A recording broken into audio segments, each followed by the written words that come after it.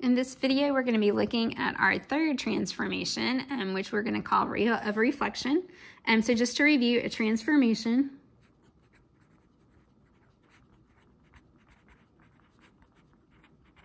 is an operation that maps an original geometric figure called the pre-image onto a new figure called the image. Okay, so all of these are starting with that same basic definition because these all form um, are, are all um, types of transformations. So specifically in this one, we're looking at the reflection. So a reflection is a mirror image of the original figure. It's the result of a transformation of a figure over a line called the line of reflection okay? Or you can also call this the line of symmetry. So you may have heard the word symmetric before, and basically a mirror image or a symmetric image is just when, um, if you look at a, uh, your image in the mirror, it's actually sort of backwards. Um, so that's what you're doing with just a geometric figure.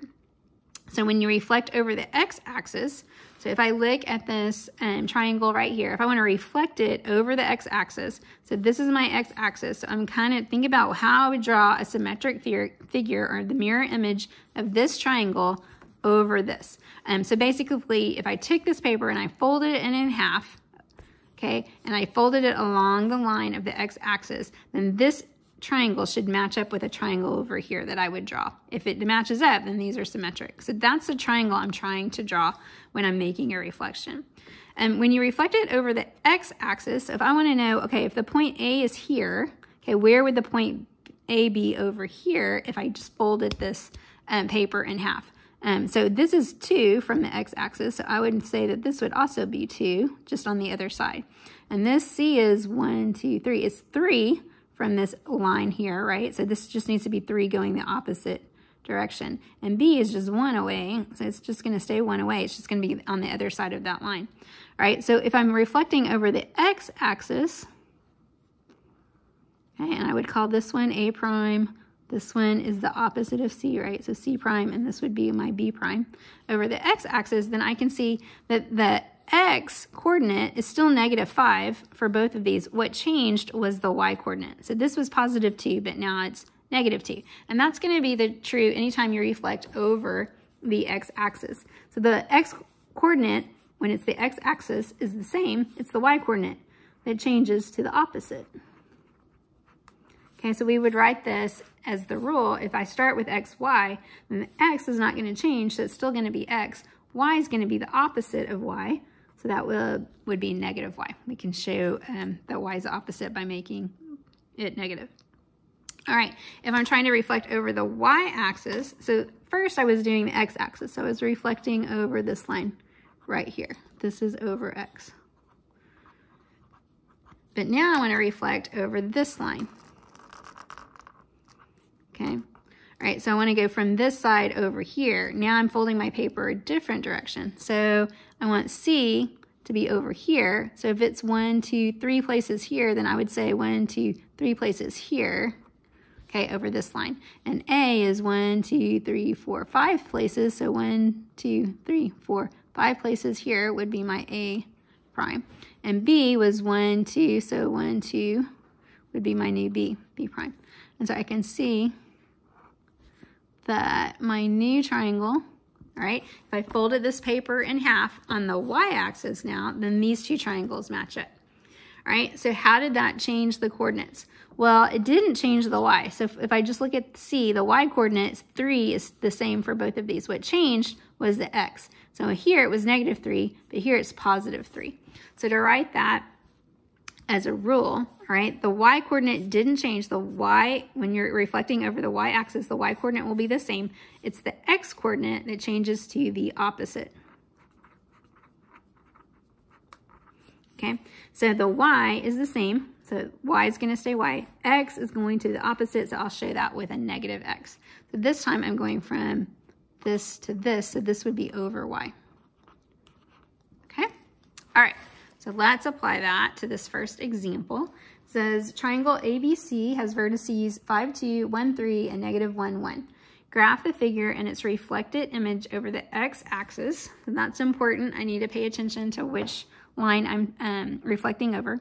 Write an algebraic re representation that explains the effect of the reflection. Then determine the coordinates of the vertices of the reflected image. Okay, so the rule when I'm reflecting over x is that x stays the same. Right, so the x is going to be the same and y is going to change to the opposite, negative y. So for this one, if a, if the x is 5, 2, then that's going, x is going to stay the same, and then y will be the opposite. So the opposite of 2 is negative 2. So for 1, 3, 1 is going to stay the same, and then the opposite of 3 is negative 3. And then again, for negative 1, 1, if x is the same, it's negative 1. If I do the opposite, then I get negative 1. So my new image, A prime, will be 5, negative 2. B prime will be 1, negative 3. And then C prime will be negative 1, negative 1. Okay, so sorry, can see all of that. Um, so then when I graph the image, I'm going to start with, let's say, um, A. So I'm to do one, two, three, four, five. This, oops, sorry, ignore that. So 5, 2, I need to go up to two, five, two. this would be my A. Just ignore that. And then B would be 1, 3. So I'm to go over 1, 1, 2, 3. That would be my B. And C is negative 1, 1. So negative 1, 1 would be right here. Okay, so I can see the triangle. These three points are forming. I'm reflecting over the x-axis. That's this line here. So I'm reflecting over x. So then my new triangle should be down here. So 5, negative 2. So 5, 1, 2, 3, 4, 5. And then negative 2, 1, 2 would be right here is my A prime. And you can see that this is 2 away, so this is 2 away from the line of reflection. And then B would be 1, negative 3. So 1, 1, 2, 3 would be down here, B prime. And again, you can see that this is 1, 2, 3, and this is 1, 2, 3. So that's correct. And then C prime is negative 1, negative 1, so that would be here. And these are both 1 away from the x-axis. So if I draw my new triangle, it looks like this. Again, if I fold up my paper in half, these triangles match up. So I've drawn the reflection, okay, across the x-axis. Right, on the next page, says in example two, quadrilateral KLMN has vertices K2, 3, L, 5, 1, M, 4, negative 2, and N, 1, negative 1. Graph the figure and its reflection over the y-axis. Write an algebraic representation that explains the effect of the reflection, and then determine the coordinates of the vertices of the reflected image. All right, so if I'm reflecting over the y-axis, then that tells me y will be the same and x will be the opposite. So I'm going to change the x. So in my first image, in my pre-image, K is 2, 3. L is 5, 1. M is 4, negative 2. N is 1, negative 1. All right, so um, the rule, I'm starting with 2, 3, and the y is going to stay the same. So 3 is going to stay the same, and then 2 will be the opposite. So 2 changes to negative 2 starting with 5, 1. So the y stays the same and x changes to the opposite, negative 5. M, 4, negative 2, keep y the same, keep the negative 2 and change 4 to the opposite.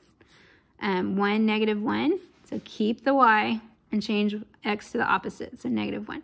So then my image, k prime, will be negative 2, 3. L prime will be negative 5, 1. M prime will be negative 4, negative 2, n prime, negative 1, negative 1. All right, so let's go ahead and put these on the graph.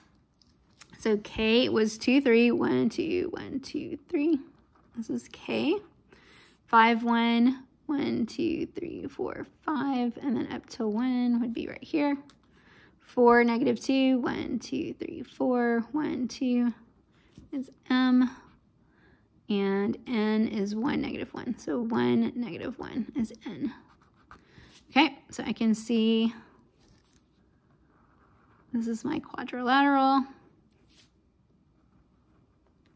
This time I'm reflecting over the y-axis. So this time I'm reflecting over this axis right here. So that tells me that um, image should be on this side. All right, so if I did it correctly, it'll end up over here. So k prime is negative 2, 3, so negative 2, and then 1, 2, 3 would be here. And I can see that this was 2, and this is 2 away from the line of, of reflection, so that's good. Negative 5, 1, 1, 2, 3, 4, 5, and then 1 is L prime. Again, these are both the same distance from the y-axis. Negative 4, 2, negative 2, 1, 2, 3, 4, 1, 2 would be M prime, and then N prime is negative 1, negative 1. So right here. Okay, again, these are the same distance. These are the same distance. So what you should see is that mirror image across the y-axis, okay? Which you do, all right? So again, think about folding it in half. Um, do you do the, the points match up if you fold this in half? Since reflected figures have the same shape, okay, and they have the same size as their pre-images, they can be known as congruent figures, all right? So they're the same size, which is what makes them congruent. Okay, they can have the same shape and not be the same size. That's, that would be similar. In this case, they're both, so they're congruent. The orientation, okay, so really what we're talking about here is the, um, like the direction of the, um, of the image. Okay, so the orientation or the direction is not preserved because when we flip it over, right? Okay, so this time LK was kind of going, if you think about the original image, okay, if I look at the slope of KL right here, it's going down. But then when I flipped it over, now that same line is going, has a positive slope, right? It's going up. So the orientation, the direction was not preserved because the figure was flipped over the line of reflection. So instead, the figures are symmetric and the line of reflection can also be known as the line of symmetry. So again, you have congruent figures, same size, they're just not facing the same direction, okay? So we can say that they're symmetric, but their orientation hasn't been preserved. All right, let's look at example three. It says the figure at the right is reflected over the x-axis. Determine the coordinates of point A prime and point B prime, then sketch the image of on the coordinate plane. Right, so I can see that A prime is right here. I'm reflecting over the x-axis, so that's this line right here. Okay, so I can just do it this way. A is 2 away, so A prime also has to be 2 away. So this would be A prime, so the coordinates of that would be when A prime is negative 2, and then down, negative 2. Okay, and then B is right here, so if I reflect it over X, so that's 2 from here, so that would be 2 from here. B prime is going to be down here, so B prime is positive 2, and then down to negative 2. All right, so then if I want to try to graph this on the other side, that's a little harder. So like this should match up right here. So I'm kind of doing this thing. This point is what it's about right here. I don't know. And then it goes like this. And then this point is like right here. This point going in. That point is like right there. And then this is like there. All right, so you're just kind of guessing a little bit since these aren't actually